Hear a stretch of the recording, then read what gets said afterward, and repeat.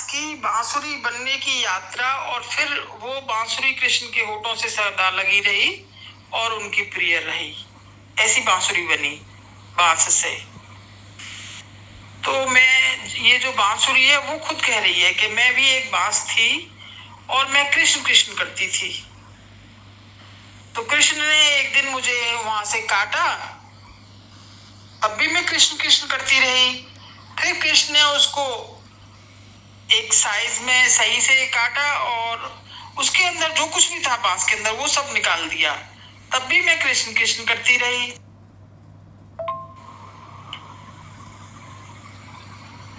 फिर कृष्ण ने उसमें छह छेद करे अलग अलग तब भी मैं कृष्ण कृष्ण करती रही।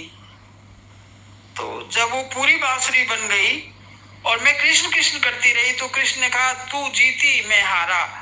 और अब तू आज से सदा मेरे होठों से लगी रहेगी और तुझे मैं प्रेम से बजाऊँगा और तरह तरह के स्वर निकालूँगा। तो दोस्तों, वो जो एक बाँस था कृष्ण कृष्ण करने से उसकी किस्मत तो देखो, ऐसी किस्मत तो आज तक किसी की नहीं है जैसी बांसुरी की है।